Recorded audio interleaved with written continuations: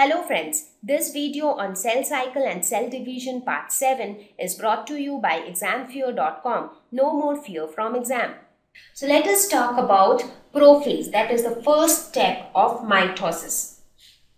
So what happens here? The chromatin threads condense to form chromosomes. Now this was the nucleus which we had so far like after the interphase. In interphase what happened? These were the chromatin thread threads which got replicated. That is why you have one in red color the other one in blue color just to uh, distinguish that okay one is the replicated one. So the chromatin threads got replicated the centrioles got replicated and this is the status of the cell as of now. Now here in this phase what happens? The chromatin threads condense to form chromosomes so what do we mean by condense? Right now the threads are something like this. Now if these threads condense together, that means they become compact. They arrange themselves something like this in this pattern and this pattern is known as chromosome and the center at which they are connected to each other that is known as centromere. I have explained all these things in the previous, uh, in one of our previous lessons. So I'm sure you all know about all these things. So in this phase, chromosomes are formed. So something like this. So here you can see the thread-like structures are gradually getting arranged. So they are like getting compact.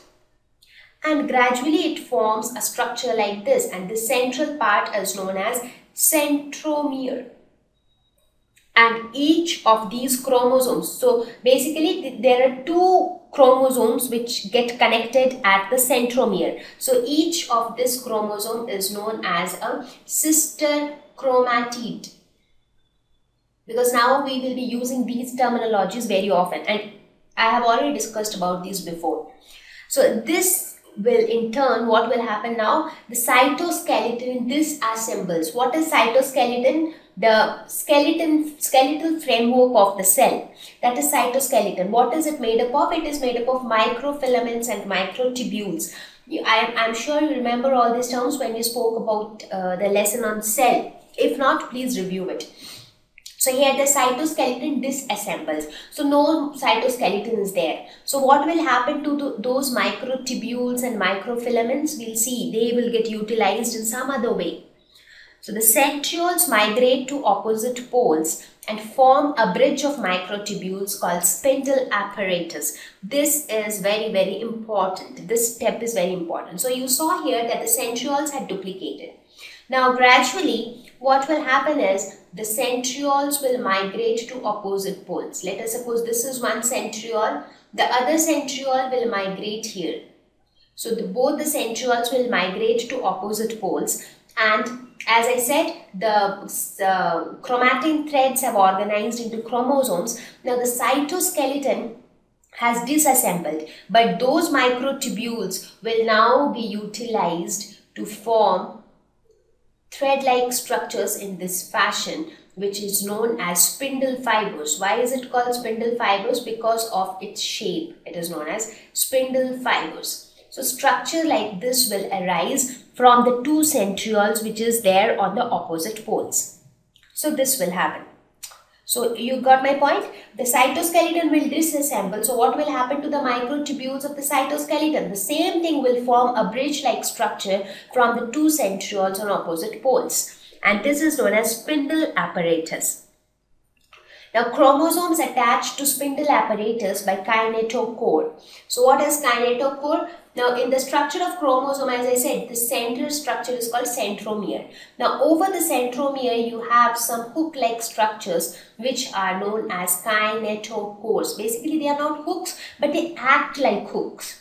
So what happens is these uh, each of these chromosomes will get attached to these spindle fibers at their kinetochores. So kinetochores will act like hook so that it can attach it attach to the spindle fibers. So these are some of the changes which will take place in prophase. So a lot of things will happen in prophase. Firstly, chromatin threads will form condense to form chromosomes cytoskeleton will disassemble and the same microtubules will form bridge-like structures called spindle apparatus chromosomes will attach to the spindle apparatus by kinetochores nuclear envelopes start breaking down. So if you see here, at this place you had a complete nuclear envelope. Gradually it starts breaking down and finally it vanishes. So the nuclear envelope will also break down.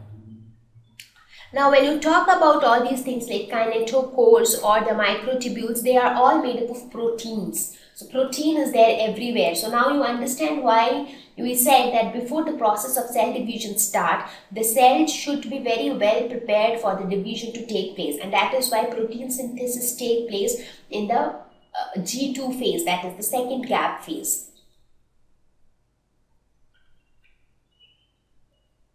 So now what happens in the next step that is the metaphase. So in this phase the nuclear membrane completely disappears. So there it started breaking down and now it is completely gone. Chromosomes assemble at the equator. This is again very very important. So you saw the chromosomes there, they all attached to the uh, spindle fibers at their kinetochore. So this white color structure which you see here, that is nothing but kinetochore and these are the spindle fibers. So these are the spindle fibers. So here in this picture you can actually see how it gives the shape of a spindle. So it attaches to these. Now because of the force exerted by both the centrosomes and also by these fibers, what happens is this uh, chromosomes are gradually arranged at the equator of the cell and this is known as a metaphase plate because it looks like a plate at the equator and that is why it is termed as metaphase plate. So now another special thing which should be noted here is that if you see this alignment has a special feature. So now here everywhere you see one, two chromosomes, right? So what are these? This is one, this is two. So they are basically same, two copies of the same chromosome. So now these two copies of chromosome or these two sister chromatids are arranged in such a way that one sister chromatid is connected to the spindle fiber of one centriole whereas the other sister chromatid is connected to the spindle fiber of the other centriole. So this spindle fiber is towards this side and this spindle fiber and this chromatid is towards this side. So that is the strategy. This is how it should be arranged at the equator.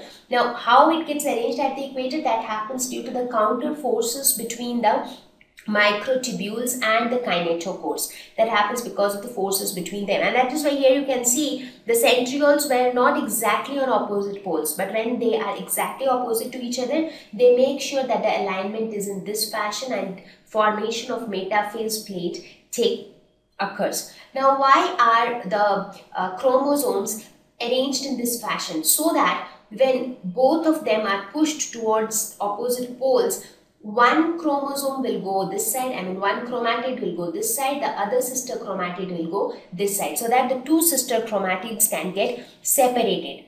Now the question is why do we want them to separate? We will see that in the next phase. Thank you. Please visit www.examfear.com to watch more videos, attempt free online test, get free study material, find tutors and mentors. Thank you once again.